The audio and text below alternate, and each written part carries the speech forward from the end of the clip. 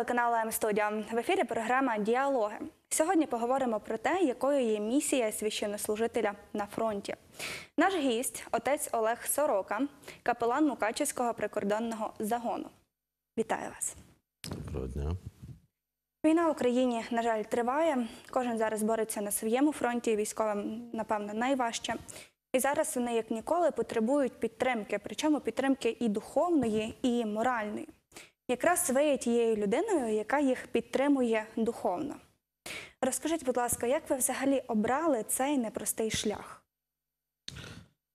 Е, на рахунок обирання шляху ну, у моєму житті все стається досить спонтанно, так як став я спонтанно священником, скажімо так, е, так і капеланом, мабуть. Ну, ніколи не було якоїсь поставленої певної цілі, щоб стати капеланом.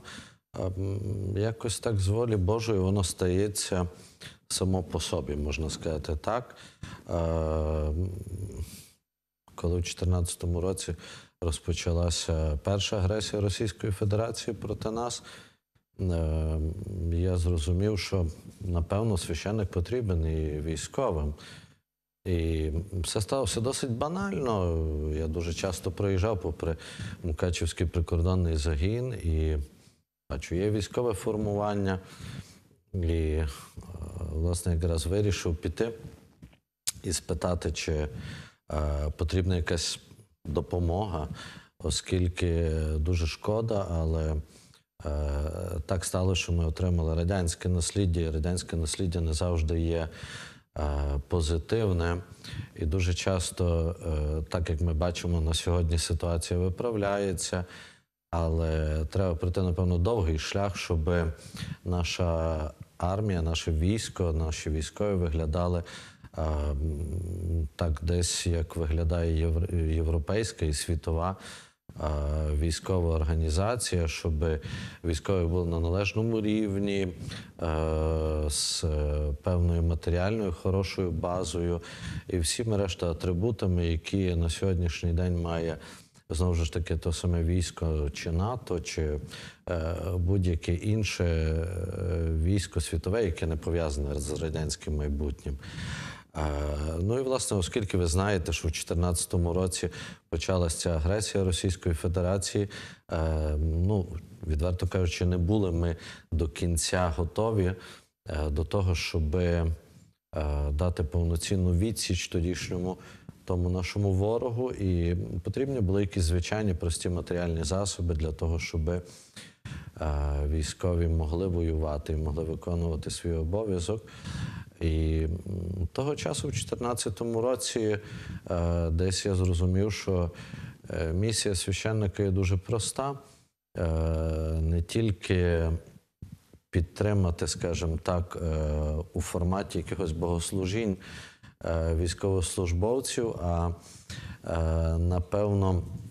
Якраз то гасло, яке ми тепер використовуємо у нашому греко-католицькому капеланстві, е, гасло бути поруч, е, воно, напевно, тоді ще в 2014 році десь зіграло е, цю роль, і, можливо, не було сформоване в моїй голові, але ну, десь воно так виглядало: бути поруч, просто бути біля військовослужбовця, який на сьогоднішній день боронить моє життя, боронить життя моїх близьких. е, Боронить мою країну, і тому залишатися осторонь, напевно, не буде не було би дуже коректно зі сторони церкви. Церква завжди була з людьми, церква завжди е, служила людям. І надалі буде служити, власне, то якраз та е, месіанська е, справа, яку, яку нам заповідав Христос. Е, завжди бути поруч, бути поруч тим, хто потребує твоєї допомоги, твоєї розради, е, твого товариства, зрештою. І сталося дуже все просто. Я просто пішов до Мукачівського загону, е, там зустрівся з військовими, з командиром, е, з заступником по персоналу. І так ми познайомились, і напевно десь так все розпочалося. Е, Оця співпраця е, з військовими. І найголовніше, е, військове священство або військове служіння, воно не є як цивільне служіння, і цьому треба вчитись. Треба вчитись, бо ти заходиш в зовсім інший світ, світ тих людей, яким не потрібні церковні церемонії, яким не потрібні якісь напоумлення чи поучення.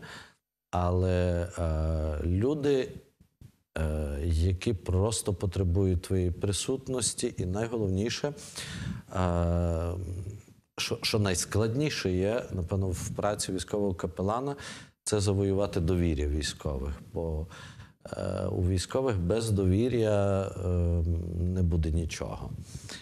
І, власне, якраз над тим треба було довго працювати, бо взагалі військове капеланство і військове служіння воно кардинально відрізняється від е, звичайно класичного церковного служіння. Так як ми звикли його бачити, е, так як ми звикли бачити, коли священник просто приходить до церкви, робить богослужіння, має ті або інші обряди. Тут служіння трошечки інакше через те, що тут просто треба бути з військовими, Е, бути з військовими і розмовляти е, мовою їхнього життя військового. Е, Не приходити для того, щоб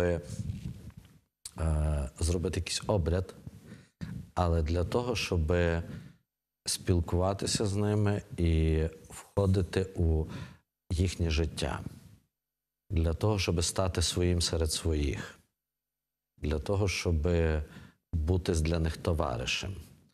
На жаль, але знову таки е, це радянське насліддя, воно нам принесло також, і, і зокрема, е, то насліддя тих наших північних сусідів, воно принесло нам е, розуміння священника як такого, який приходить для того, щоб зробити якийсь церковний обряд, ну, будемо відверті, отримати якусь винагороду і піти геть. А на сьогоднішній день е, сьогодення вимагає е, того, щоб е, священник перетворювався, реінкарновувався у того, дійсно, як в церкві ми, ми називаємо священників Альтер Крістус, той другий Христос.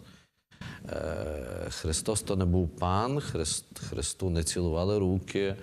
Е, Ісус Христос не вимагав до себе якоїсь е, специфічної поваги чи покори, але Він просто приходив у товариство людей і був посеред них. Він турбувався їхніми проблемами, він жив їхнім життям. Він, зрештою, був посеред них, тому і для фарисеїв це було трошки дивно, коли вони е, не могли збагнути методологію його служіння. Е, Для них це було зрозуміло і звично е, бути при храмі, бути в шатах, е, дов'язувати собі ті китиці, помножувати ті китиці, бути авторитетною людиною у товаристві. Христос також здобув той авторитет того очільника, того керівника. Але ми знаємо, яким шляхом. Шляхом тим, що він був посеред своїх людей, він допомагав своїм людям, він жив їхнім життям. І, власне, ця євангельська фраза, яка каже, що здорові лікарі не потребують, е, вона, напевно, є віддзеркаленням його служіння. Він прийшов до тих, е, кому бракувало, е, можна сказати так, якоїсь досконалості в житті. І просто-напросто він своєю службою, своєю працею для людей, е, він доповнював ту недосконалість, яка, можливо, була у житті людей. Недосконалість, яка потребувала е, якогось іншого погляду, якогось, е, можна сказати так, божественного погляду на проблему людини. І для того, щоб дуже часто зробити оце чудо, яке е, потрібно людині, е, спочатку треба поцікавитись, напевно, які засоби для того чуда потрібні. А для того, щоб знати, які засоби потрібні, то треба докорінно ввійти у життя і е, в ту або іншу життєву ситуацію людини. І, власне, з військовослужбовцями є так само.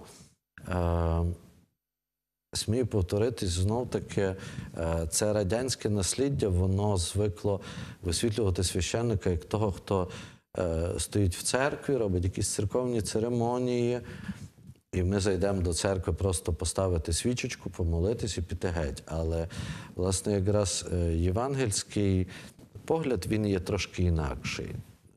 Як звикло ми можемо бачити то церковне життя. Євангельський погляд він є більш глибший. Тобто зайти в життя людини, щоб прожити з нею той певний період і залишити якийсь відбиток, відбиток Бога у серці людини через священнослужителя знов таки. І тому, власне, десь я розумів, що в 2014 році, напевно, допомога, якась праця священника потрібна е, військовим. І слава Богу, е, воно дійсно справдилося, воно дійсно е, знайшло від військових свій е, якийсь свою відповідь, свій відгомін. І до того часу, поки не було узаконене, скажімо так, капеланство від держави, е, я працював загоном на волонтерських засадах, і мені то було до вподоби якось завжди. Е, я мав на то час, і це, це стало одною із, скажімо так, одним із е, сегментів мого служіння. Е, Я Богу дякую за те, що так сталося. Е, Бо це щось нове, щось цікаве, якась нова аудиторія, якась е, нові люди, які знову ж таки не тільки даються тобі для того, щоб їм послужити, а знов таки, щоб і ти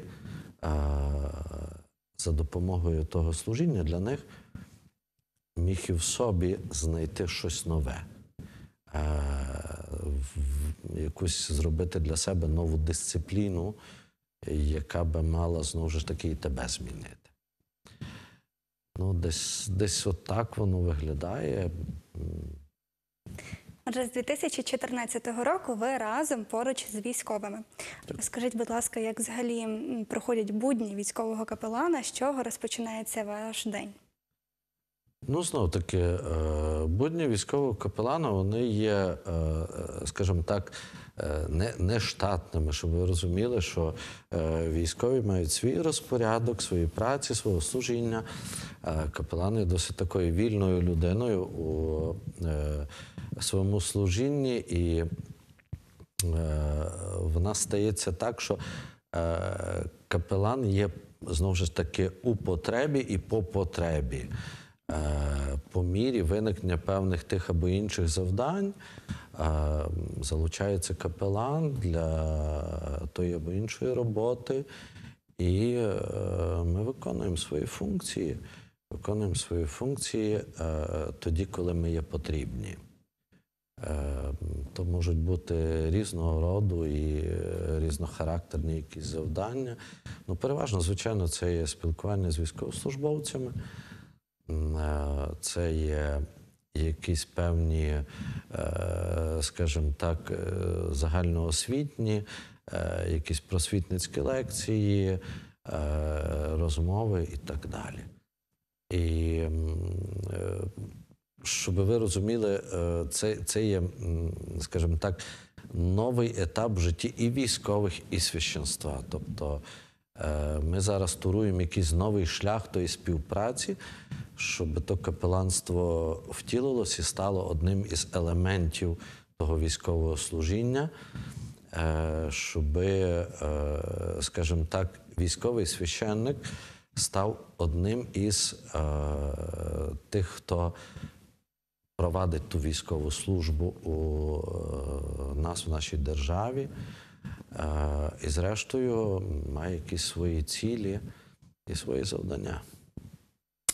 Віра це насправді дуже велика сила, і кажуть, що на війні немає атеїстів. Чи це дійсно так? Так, це є правда. Це я можу сказати з військового такого досвіду, з, досвіду праці з військовими. Е, Коли дуже багато хто каже, що військові є атеїстами або невіруючими людьми, е, взагалі атеїстів не існує. Ну, навіть той, хто е, вірить в те, що Бога нема, він, він має віру, він вірить. І тому атеїстами люди дуже часто стають через те, що вони отримали якесь поранення або якийсь поганий досвід від знову ж таки людини, не від Бога. Тобто кожна людина носить в собі е, ідею абсолюту Бога, тобто існування абсолютного єства, яке не має в собі нічого поганого.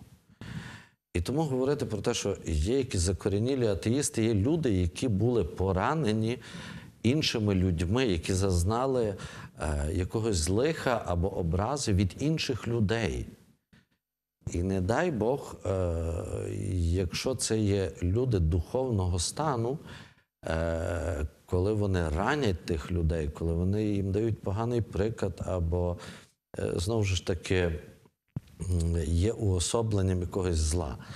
І тому дуже часто, скажімо так, я би не сказав, що це є атеїзм як такий чистої води, але скоріше всього розчарування. Розчарування в людині, яка би мала нести щось світле, щось гарне, щось позитивне. І якщо слова е, розходяться із справою, е, тоді, напевно, хтось, хто це помічає, він стає тим атеїстом, стає людиною, яка не довіряє. І, е, власне, якраз тому, напевно, завданням військового капеланства, бо військові дуже чутливі на обман, е, вони дуже добре відчувають, коли ти з ними щиро поводиш себе. Ну, зрештою, так всі люди.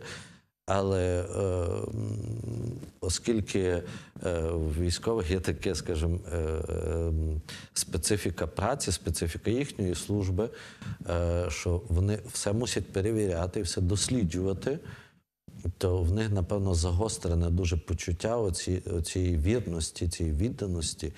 І тому військовий капелан, напевно, е, ну, це з досвіду має бути чесним і відкритим із тими військовослужбовцями. І коли е, вони, вони це відчувають, коли ці військовослужбовці це відчувають і розуміють, що ти з ними є відкритий і чесний, е, тоді, відповідно, в них відкривається ця снага тої довіри. І якщо людина не є воцерковлена, якщо вона не робить церковні практики, це не означає, що вона є невіруюча. Це не так. Е, Бо можу сказати знову ж таки з свого досвіду, коли ти спілкуєшся з тими, хто навіть далекий є від е, церковного життя, і ти йому доносиш якісь ці слова тої довіри, ці євангельські слова тої довіри, наприклад, Ісуса Христа, він починає в першу чергу не Ісусу Христу довіряти, а тому, хто несе то Слово. Знову ж таки, тому капелану чи тому священнику. І відповідно робиться цей місток того довір'я, тої віри. І він йде знову ж таки через людину, через простого звичайного військового священника капелана. І тому, напевно, ну, е, якраз, якраз ми, священники військові, ми маємо бути уважні і дуже добре аналізувати свої дії, щоб ненароком часом е, не зневірити того, хто, е, можливо, ще не пізнав Бога, хто ще не зрозумів е, всієї цієї місії Божої щодо нього, щодо його існування на землі, щодо його служби у війську, щодо того, що він взагалі є. І тому е, атеїзму чистої води, ну його просто, на мою думку, його не існує. Завжди можна відновити ту втрачену довіру. Та й зрештою до Ісуса Христа приходили всі ті люди, які втратили довіру знову ж таки до, до тих або інших людей, е, які розчарувалися, які перестали е, мати якісь відносини з тими або іншими людьми, бо перестали довіряти через біль, через обман, через якісь е, ці негативні дії із сторони е, іншої людини. Військовий капелан це в свою чергу ще й психолог. Кожного вислухати, підтримати, щось порадити. Звідки ви черпаєте сили для себе? Ну, відносно психолога, то так, можливо, трошки перебільшено. Я не маю жодних ступенів по психології. Е, я, ну, звичайно, ми вивчали психологію, це правда. Е, але я думаю, що знаєте, найголовніший психолог у нашому житті то Ісус Христос. Ну, е, його мудрості дивуються люди до сьогоднішнього дня. Я знаю, навіть знову ж таки, ті люди, які е, іменують себе атеїстами, вони дуже часто цитують е, вислови Ісуса Христа, бо вони є універсальні. Вони є тими, які е, не тільки в собі несуть е, якийсь психологічний фактор, а фактор якраз того зцілення, то, що людині потрібно. І е, дуже часто так стається, що е, якраз е, для того, щоб зрозуміти, про що людина е, хоче з тобою говорити, треба уважно її вислухати. Е, і, і напевно, е, якраз знову ж таки, бо е, дуже часто священство обростає якимись стереотипами, що от священник має в церкві там повчати чи, чи розказувати всім, е, хто деяке має місце або що має робити. Але насправді і найперше, е, що, що має робити священник, це уважно вислухати. Е, через те, що людина якраз для того йде, щоб е, вилити е, десь той свій біль, чи, чи нерозуміння, чи незнання, чи е, якусь, якусь таку емоцію, яка не, зовсім пов'язана, скажімо так, з гараздами. Це вже потім, коли священник познайомиться з людиною, тоді вже людина приходить, розказує щось радісне, щось добре, ділиться чимось позитивним. Але, власне, коли такі є моменти, коли людині є зле, то вона шукає певно когось, хто би її розрадив. Тому справді не тільки військовий капелан, а й священник має навчитися добре слухати людину, добре слухати, щоб зайти у її світогляд не так поверхнево, але так глибинно. Е, Бо якщо людина вже наважилась прийти до священника своєю тою або іншою якоюсь життєвою проблемою, то вона шукає якраз створити той собі місток довіри. Е, і я ж кажу, що нашим завданням, власне, якраз є той місток е, не зруйнувати або сказати, що, друже, знаєш, я зараз не маю часу на тебе, але разом з ним зробити той місток тої довіри, щоб е, він став тим життєвим шляхом до того серця тої людини. Спочатку вислухати, а потім щось і порадити, допомогти, адже вашою зброєю є слово. Яких слів зараз найбільше не вистачає військовим, не тільки від священника, можливо, але й від рідних. Е, ну, е, саме по собі слово, воно є дійсно е, універсальне. Якщо ми звернемося знову ж таки до Євангелія і е, пролог Івана, тобто передмова Івана, е, апостола Євангелиста до е, своїх слухачів, е, в тому пролозі якраз міститься оце, що ми на Пасху зачитуємо е, слово про слово. Слово про те, що може слово. Слово про те, як діє слово. І, е, власне, якраз слово то є той ключ до людини, е, до її життя. Той ключ, який е, дуже часто стає е, відкриттям дверей життя тої людини. І е, я думаю, якщо людина хоче підібрати то слово, то вона його підбере. Е, проблема сучасної людини в тому, що людина хоче підібрати слово дуже швидко, е, дуже так, знаєте, е, безболісно і е, без зусиль. Так, щоб, е, ну, навіть якщо в побуті ми побачимо, як ми дуже часто спілкуємось, то е, ми використовуємо слова дуже швидкі, необдумані, і е, тому потім е, то слово може стати е, не тим, що будує, а тим, що руйнує. І, е, власне, людина як носій того слова, як е, той інструмент походження того слова, е, джерело походження того слова, вона має вчитися мистецтву того слова. Для того, щоб ті слова не ранили, не вбивали, е, не нищили, але для того, щоб вони будували, щоб вони потішали, щоб вони підносили, щоб вони давали надію, щоб вони вселяли віру. Е, власне, ну, якраз священник без, без того слова, він, е, ну, скажімо так, як, як е, колодязь без води.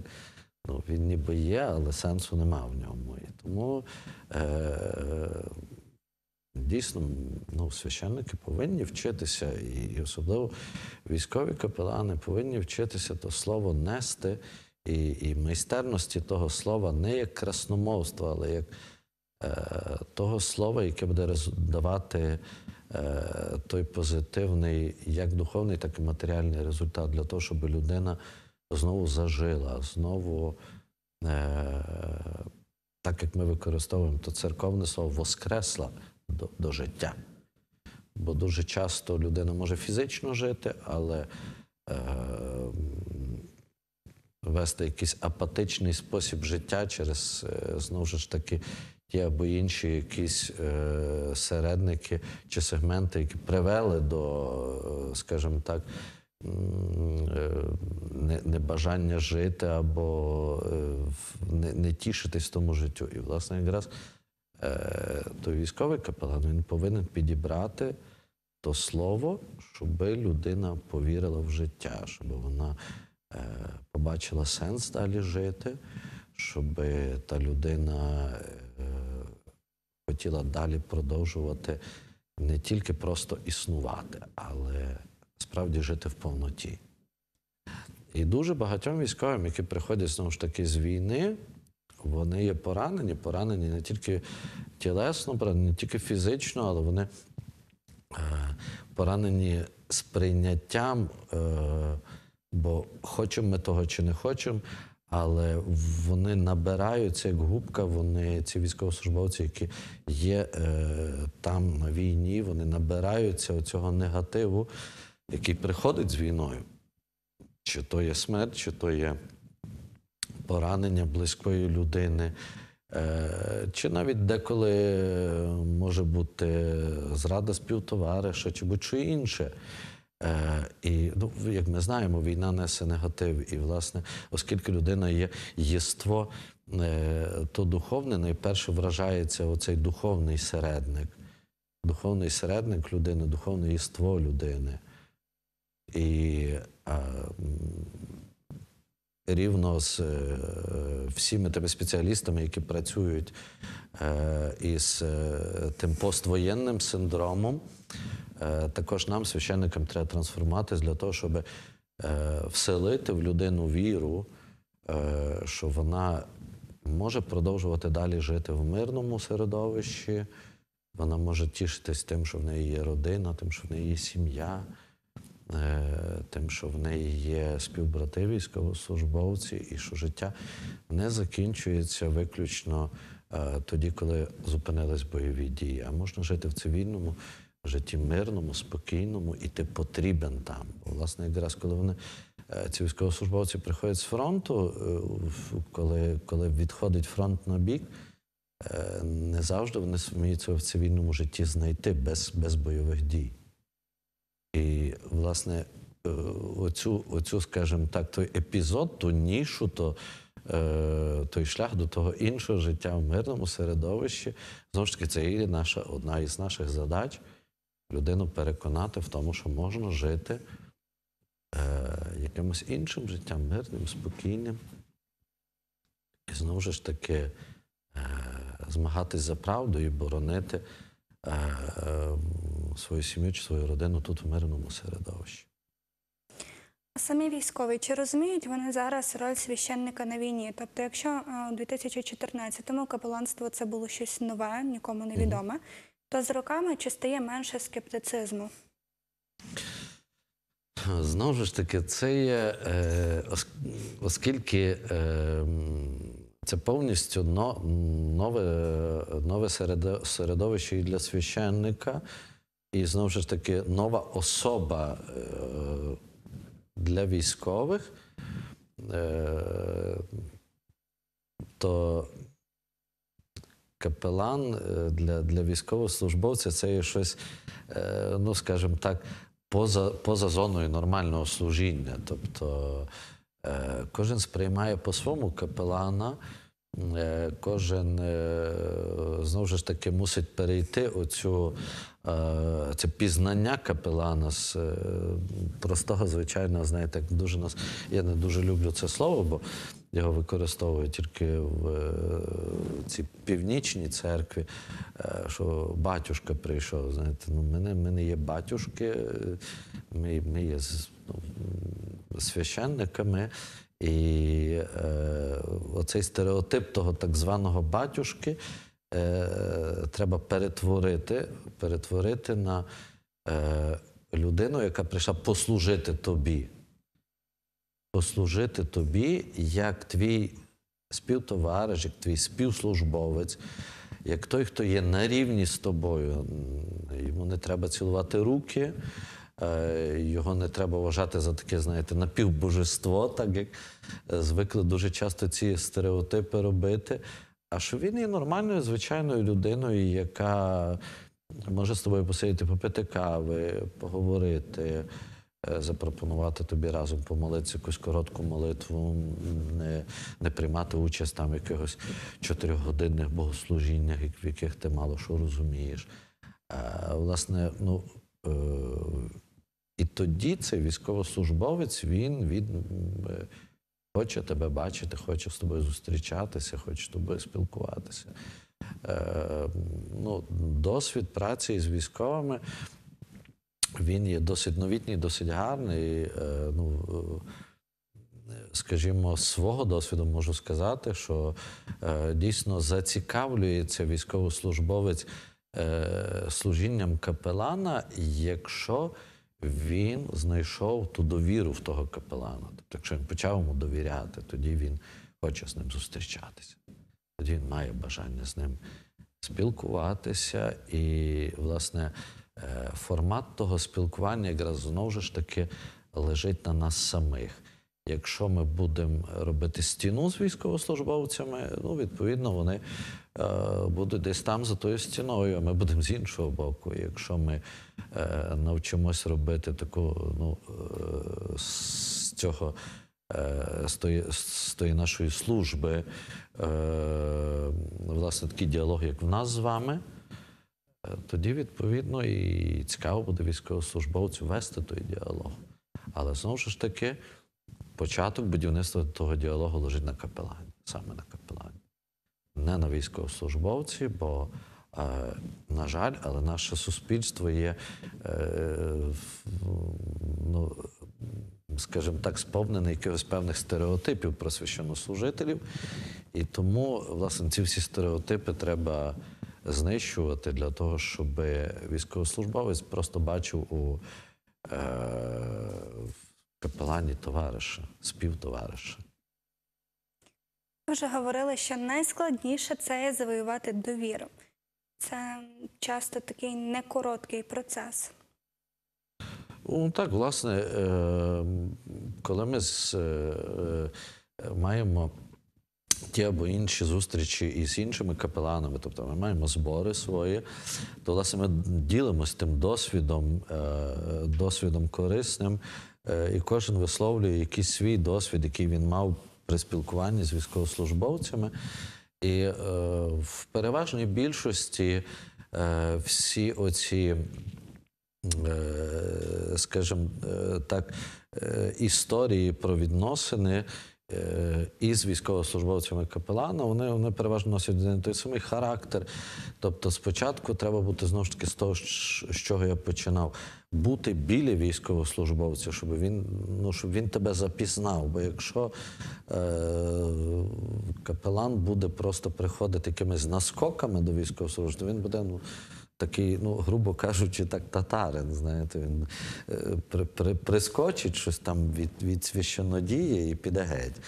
Е, і, власне, а коли ти входиш в побут військових, е, коли ти з ними, скажімо, якщо ти є на виїзді, е, дуже часто так є, що ми з, ми з хлопцями сідаємо їсти, е, ми з ними є. Е, Скажімо, я можу піти на де, де, десь на, на той е, пункт несення служби і просто, просто побути з ним спитати, як в нього справи. І, звичайно, що реакція буде, можливо, і неоднозначна, знаєте, ну, перше, перше подив, бо ніколи такого не було, щоб хтось з ним цікавився.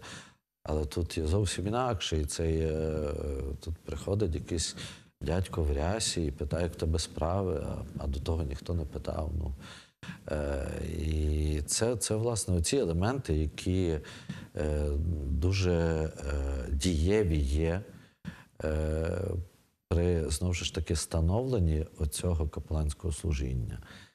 І в переважній більшості всі наші отці, всі наші священники, які є в тих або інших військових формуваннях, е, переважно виказують одну і ту, одну і ту саму думку, власне, в практичному спілкуванні із е, військовослужбовцями це просто бути коло військового, коло солдата.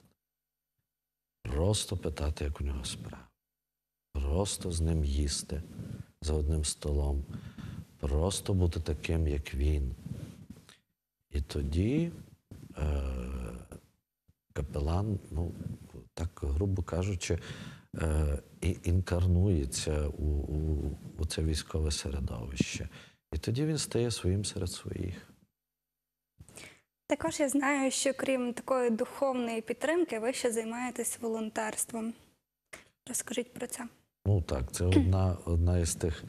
Одна із тих гілок, про яку я не дуже люблю говорити, але е, власне якраз з 2014 року воно починало все з волонтерства через те, що е, окрім е, якогось духовного служіння церкви, окрім е, е, тих, е, тих речей, е, які лікують душу, дуже часто, е, знаєте, ну.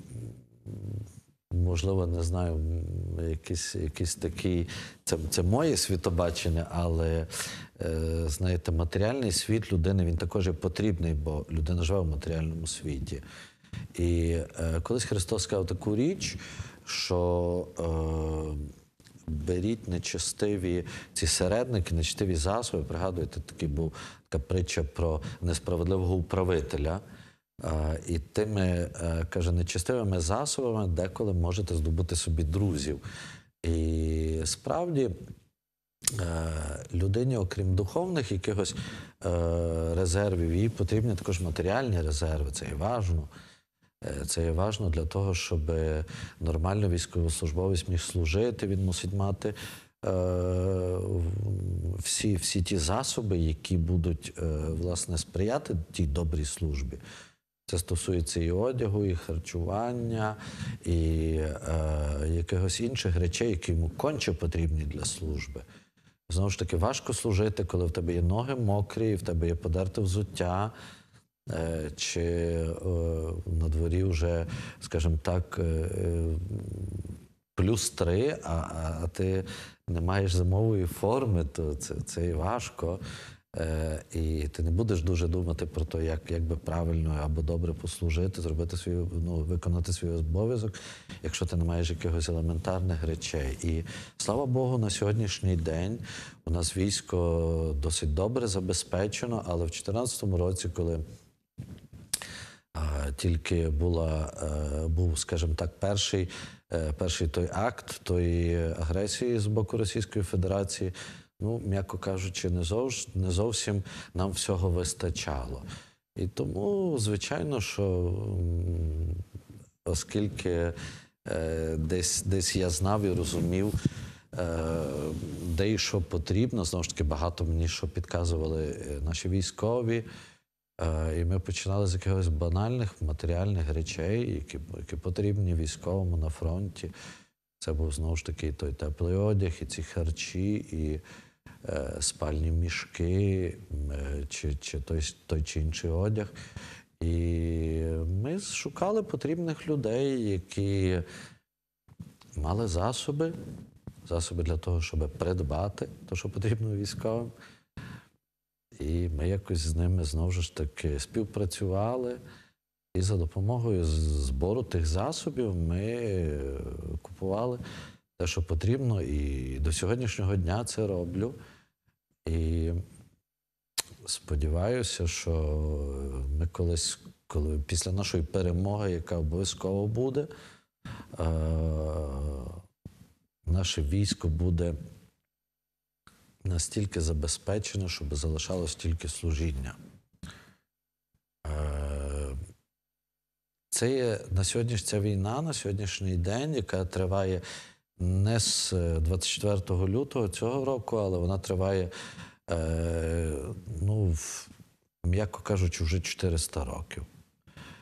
Е, Чому? Бо е, Росія завжди готувалася до того, щоб нас знищити, е, і готувалася вона століттями. І, е, скажімо так, від часів е, тої так званої Переяславської угоди, документ, про яку ні- ніхто ні- ніколи не бачив. Від, тої, від часів тої спроб знищення тої нашої славної Гетьманщини до сьогоднішнього моменту Росія завжди старається нас ну, просто знищити. І на сьогоднішній день ми бачимо ці їхні гасла, які вони видають із своїх телеекранів, що ну, просто українців не має бути. І, власне, то волонтерство то є не тільки наша праця, але це є наш обов'язок. Обов'язок е, використати всі ресурси е, для нашої перемоги. А наша перемога це буде перемога правди, перемога тої правди, що ми маємо право жити, що ми маємо право існувати, що ми маємо право розмовляти своєю мовою, зберігати свої традиції, е, що ми не є е, якісь е, е, недоросіяни, що ми не є, знаєте, як е, дуже не люблю цю фразу, але що росіяни придумали для нас е, малороси, ми не є ніякі малороси. Е, Якщо вже так брати, ну але то десь може інший раз ми зустрінемось і поговоримо е, з історичного е, погляду. Е, Ми, ми якраз є тими великоросами, бо, бо Київська Русь була великою, а не Московське князівство. І, власне, ми маємо, е, як, як з того часу, з 2014 року, відколи я волос- волонтерством займаюся, і до сьогоднішнього дня я це буду робити. Буду робити для того, щоб наш військовий, наш солдат мав все, що йому потрібно для служіння. Е, Щоб він е, мав від доброї машини, від доброго автомобіля, на якому він зможе виконувати ті або інші свої бойові завдання, зрештою до, е, скажімо так, доброї їжі смачної, яку, яка підкріпить його для того, щоб він міг добре виконувати той свій обов'язок е, і захистити ту нашу державу. І е, дехто каже, що ну, мене то не стосується, навіть то, то або інше міністерство е, мілітарне тим займається, або в бюджеті то передбачено, або що інше. Е, але скажу вам так, е, що всі наші оці е, зусилля воно волонтерські, то не є виявом якогось недоопрацювання тих або інших наших мілітарних міністерств. Це знову ж таки поклик від Бога на то, наскільки ми є чуйними і відповідальними до нашої перемоги. Бо це і наша перемога, це не є перемога нашого мілітарного того або іншого якогось міністерства. це не є перемога нашого головнокомандувача, а це є перемога наша, то ми всі повинні працювати на то, щоб та перемога здійснилась. І відповідно маємо використовувати і шукати ті засоби для нашої перемоги. І ми всі повинні це робити. Але не тільки той, хто е, несе безпосередньо за то відповідальність. Бо якщо, якщо то є наша держава, якщо то є наш народ, то є наші люди, то ми всі повинні це робити і не питати, е, хто несе ту або іншу відповідальність за ведення бойових дій чи за спорядження військового. Ми зобов'язані працювати на те, щоб той військовий е, найменше думав про те, що йому потрібно, для того, щоб вести бій, е, але найбільше думав тільки е, про те, що він, він має все, що йому потрібно для бою. І от останні події, е, те, що е, наші люди знайшли у пана Притули цю довіру, таку пан Притула знайшов наших людей таку довіру, е, що в- на- на- надзвичайна ця, ну, бо дехто е, хоче завжди нас переконати, що е, українці якісь, е, скажімо так, мають елемент того, е, тих негативних якихось е, характеристик. Насправді е, воно зовсім не є так через те, що от з прикладу пана Притули, е, е, коли наші люди. е, переконавшись у тому, що йому можна довіряти. За одну добу назбирали 320 мільйонів для цих дронів камікадзе, то можна розуміти, що е, справді ми є нездоланна нація. Це не є проста хвальба, але е, це є е, відповідь е, на ці закиди, що е, знаєте, як північні наші сусіди, на жаль, дали нам це, е, цю таку е, ну, дуже сміхотворну таку назву хохли, що ми не є хохли, що ми є справді великою нацією, нацією українців, нацією тою, яка е, може сама собі зробити е, комфортну цивілізацію, як то було від часів е, наших славних тих київських князів.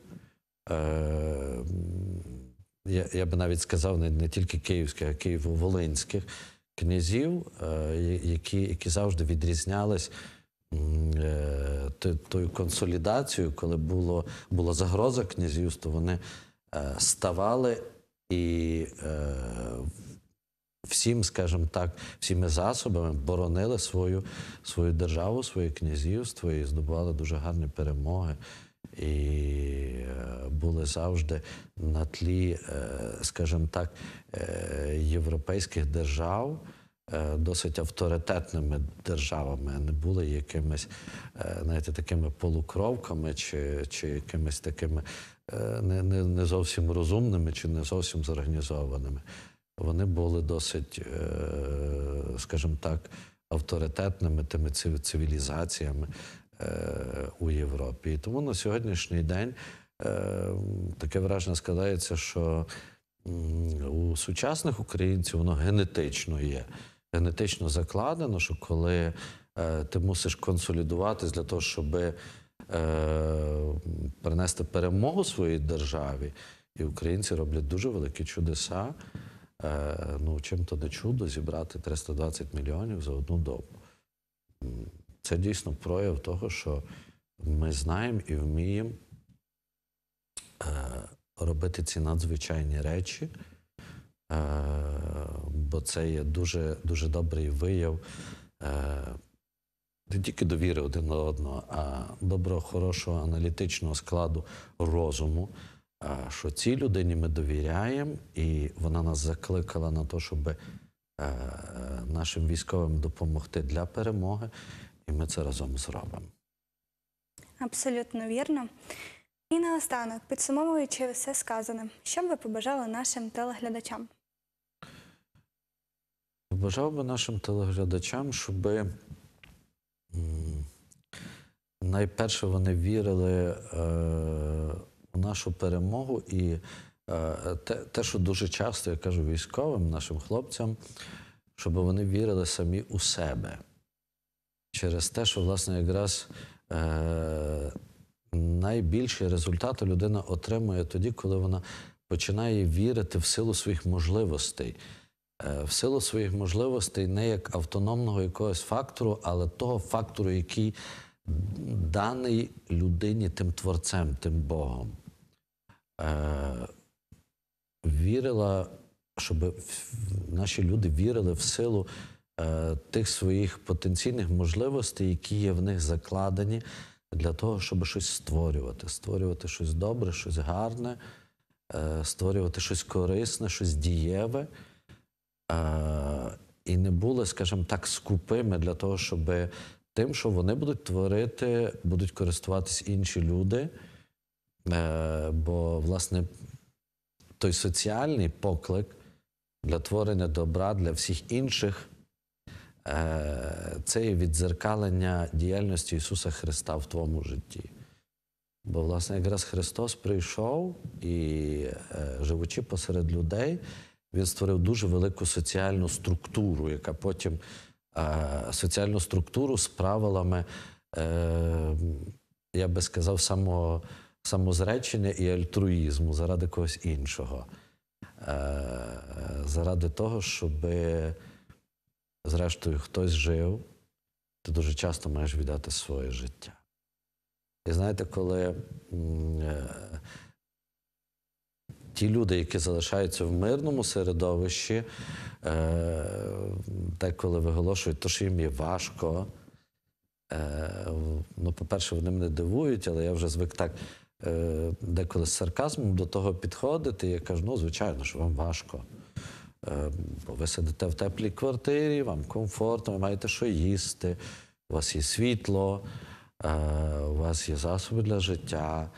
Е, Це звичайно, що важче, ніж той, хто не має тепер житла, чи він його втратив, чи не має що їсти, чи будь-що інше. О, знаєте, чи ну дійсно так там важко. Ну, тому подумайте над своїм життям, тому зважте на своє життя і не бідкайтесь на Бога, якщо немає на те якихось об'єктивних причин. Я бажаю, щоб людина перше вірила в себе і в свої можливості, і друге дякувала Богові за те, що Бог їй дав на сьогоднішній день. Що вона має всі засоби для того, щоб вона виконала свою місію на землі, щоб вона прожила той день чи рік гідно, е, щоб вона показала себе справді тою творчою, активною людиною, яка може разом з Богом творити, яка може разом з Богом е, щось нове винайти і залишити корисним для тих своїх е, співтоваришів, які поруч. Е, бо життя є досить короткотривале, і е, життя то є той маленький іспит, іспит на те, чи заслуговуєш ти бути е, коло того вічного Творця, чи заслуговуєш ти бути в його царстві. І, власне, якраз цей маленький, цей земний елемент нашого життя є, е, скажімо так, тим іспитом на випробування. Чи навчився ти бути таким творцем, яким є твій Бог? Чи навчився ти творити? Е, Бо, знаєте, дуже часто від церковних діячів можна почути таке, що чи навчився ти творити добро або зло, чи навчився ти творити так, як твій творець? Щоби потім спокійно, коли це фізичне життя, наше тілесне життя закінчиться, ми могли стати перед ним і дати йому відповідь за, за це своє земне життя, чим я був тут корисний, чим я тут був потрібний тим людям. Бог є корисний, потрібний для всіх людей. Чим я зміг бути корисним для тих, кого мені Бог послав у тому своєму житті. Для це, напевно, буде, знаєте, такий підсумок тої євангельської притчі про ті таланти. Я отримав п'ять талантів, вертаю тобі інших п'ять. Я отримав два, вертаю тобі інших два. І Господь промовляє до тих двох слуг, каже: гаразд, слуго добрий, я поставлю тебе над великим, бо ти був мені вірний у малому. Ти виконав ту справу, яка належала мені. Ти виконав ту справу, яку я поручив тобі. Поставлю тебе над більшим. І не дай Бог, щоб е, це була та третя особа, яка е, також дала відповідь своєму тому панові і каже: пане, я знав, що ти чоловік жорстокий, я знав, що ти жнеш там, де не сіяв, і тому зі страху перед тобою я, я закопав той свій талант. На, маєш забирай своє.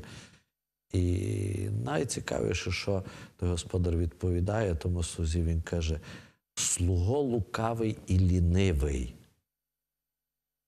Ти знав, що я жну там, де не сіяв, і збираю там, де не розсипав. То чому ти хоча б не взяв той талант і не віддав торговцям? І я би забрав свої з відсотками, коли ви прийшов. Тобто, якщо ти знав, що ти не можеш це зробити, треба було то перепоручити комусь іншому. Бо ти знав, що має бути акт творіння, має бути акт примноження того добра. Чому ти це не зробив? І якраз, власне, я би хотів побажати тим, тим нашим глядачам і, і всім нашим тим людям, щоб дуже зважати на то своє життя, щоб не проживати його марно, щоб не жити у страху, так як той, той третій, той слуга, який дуже боявся свого пана, але насправді був лицемірним і лукавим. І провадив так своє життя, що ну, не приносив нічого доброго і ніякої користі. Я би хотів, щоб дійсно е- ширилось е- дуже багато таких покликів ставати знову ж таки е- тими притулами, тими нашими військовими героями, тими нашими хоробрими солдатами, які є тепер у е, тих окопах, ставати тими, хто буде плести маскувальні сітки або готувати ті обіди для, наш, для наших військових, ставати тим, хто буде долати якісь великі відстані, привозити автомобілі для тих наших хлопців чи медикаменти, е, зробити якийсь маленький крок. Але, власне, якраз з того, що ми починали, щоб вибудувати той місточок з довір'я з простим солдатом, вибудувати той е, шлях до серця того, хто тепер тебе боронить. Бо найголовніша наша місія на сьогодні це є перемогти ту одну єдину велику неправду, про яку я згадував. Е, на жаль, але ім'я якої наш, наш північний сусід та Російська Федерація. І знову ж таки, як ми будемо е, вповні використовувати то своє життя для тої нашої перемоги, то рано чи пізно слово правди обов'язково засяє і кожного з нас потішить. І більш ніж переконаний, що якщо ми збережемо ту свою ідентичність, ідентичність українця, ідентичність порядної, чесної людини, ідентичність доброго військовослужбовця або правного кухаря, відданого лікаря, або, зрештою, чесного журналіста, то ми точно отримаємо місце того переможця посеред е, тих місць, які наготував найголовніший для нас переможець Ісус, Ісус Христос. Апостоли були здивовані і не знали, як буде виглядати його царство, здивовані тим, що він пішов на розп'яття, але потім вони вже зрозуміли, що те їхнє царство, воно є наготоване там після смерті. І місце е, якраз остаточної перемоги є саме там, коло того вічного Бога, який очікує на кожного з нас. На кожного з нас, хто творив добро, на кожного з нас, хто був відданий, мав добре відчуття самопожертви і не провів своє життя марно. Дякую вам за відповідь і загалом за цю розмову. 25 жовтня в Україні відзначають День військового капелана. Тому, користуючись нагодою, я хочу привітати вас з цим днем, Дякую. побажати вам сил, наснаги у всіх ваших починаннях, адже ви робите справді дуже велику і хорошу, потужну справу.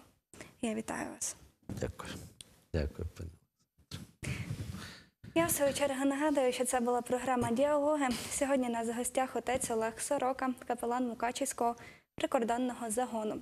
Поговорили ми сьогодні про капеланство в Україні, про суть і властивості цієї нелегкої справи. Сподіваюся, інформація була для вас корисною. Бережіть себе.